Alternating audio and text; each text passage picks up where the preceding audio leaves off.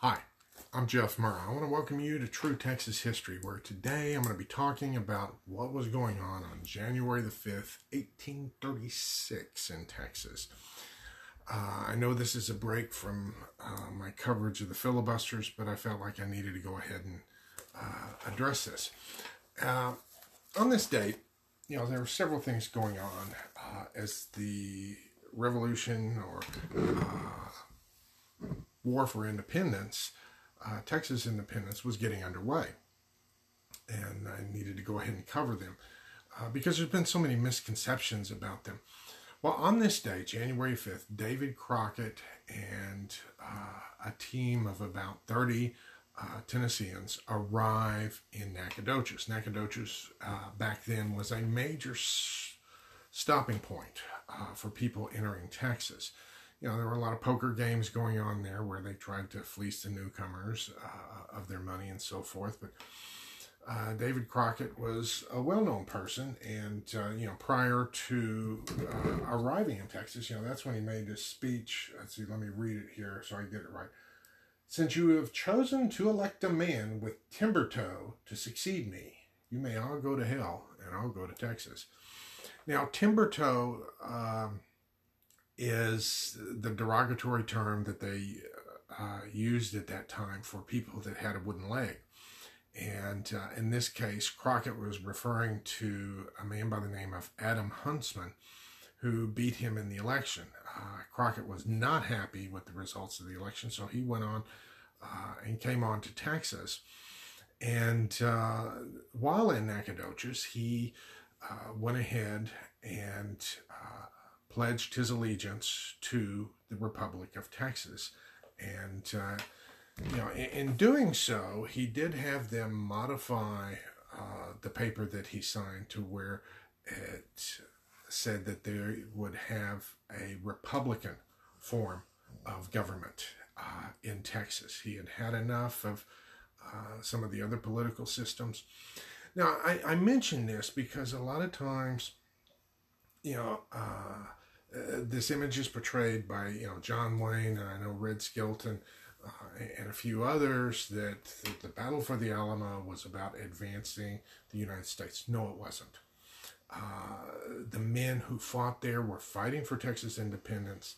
Uh, some of them had even gone so far as to renounce their U.S. citizenship. This was not an attempt to expand the United States into Texas. Uh, you know, there were some politicians that wanted that to happen, but that was not uh, the intention of the people at the time.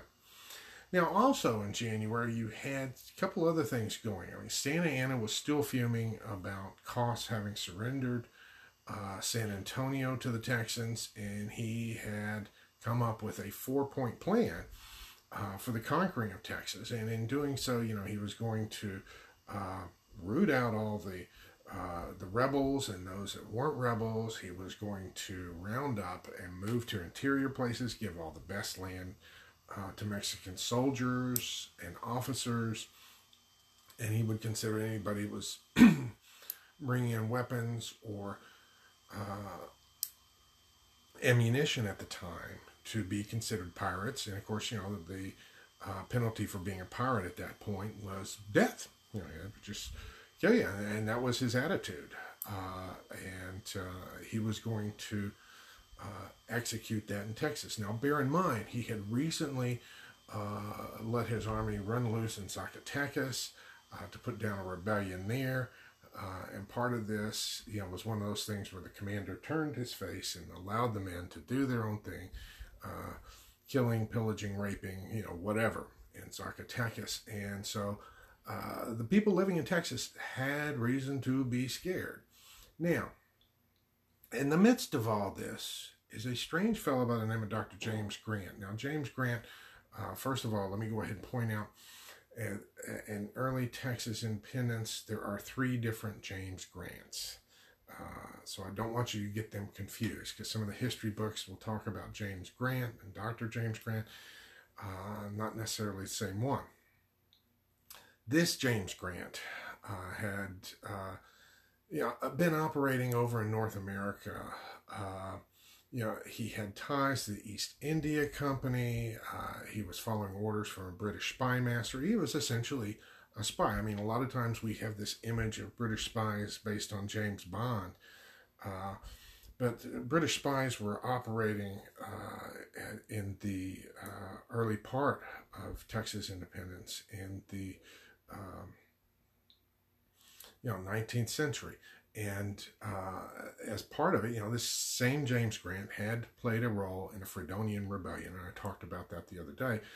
Uh, because they wanted to stir things up in Texas so that there was a buffer zone between the United States and Mexico. And as uh, the Texas independence movement was growing, it was this James Grant that uh, the Scottish born uh, doctor that went into the town of San Antonio, usurped authority, said that he was the commander of the Matamoros Expeditionary Force. He commandeered all the supplies. So, although the Texas Army had uh, procured supplies with the capture of San Antonio, he took them all, uh, along with a lot of men, and started heading down in the direction of Matamoros. Now, he had uh, another agenda. He had large land holdings uh, further into Mexico and he wanted to uh, rescue them. Now, the Matamoros expedition comes into play a little bit later on in the story of Texas independence. Uh, but I, I, wanted to go ahead and give you an idea of what was going on at the time. You know, uh, Davy Crockett arrives. Uh, this Matamoros expedition had already taken off and was uh, between San Antonio and Matamoros at that point. Uh, Santa Anna was uh, sharpening his swords, getting ready to march his army uh, to go ahead and take Texas. Uh, it was a mess. But this is the mess that David Crockett stepped into. Now, on arriving in San in Nacogdoches, they shot off a cannon. You know, gave him a big feast. Now, this was apparently something that had started in Nacogdoches because back in November, just a couple months before, they had had another huge feast. Uh, a fellow by the name of Adolphus Sterne uh, footed the bill for that one. It was called the Feast of Liberty, and it was for the New Orleans Grays, you know, some volunteers that came in to fight for Texas independence. And uh, because the people of Nacogdoches were appreciative. Back then, they uh, appreciated help. And um, with Davy Crockett arriving, they uh, most of his men went ahead and signed allegiance to Texas. Now, two men retained their U.S. citizenship and went back. Uh, but uh, they did have a big feast for him there, uh, got him well taken care of, uh, because Crockett had in mind that he wanted to be one of our representatives in the Republic. Um, and some of the letters he wrote that were considered his last letters were from that time period. Uh, now, on an ironic note, uh, Adam Huntsman, who had beat Crockett uh, in the election for the U.S. House, uh, of course, he didn't accomplish a whole lot except, uh, you know, pass some bills that uh, benefited some of the banks and tariffs and so forth. Um, and he was defeated the next election go round by none other than David Crockett's son. I say David Crockett because he did not like the term Davy. He preferred David.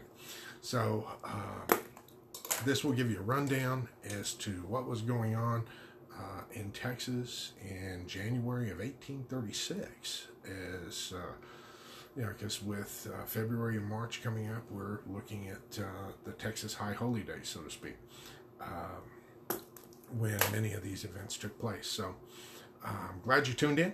Hope you enjoyed it. Uh, and uh, we'll see you again next time. Vaya con Dios, my friends. Goodbye.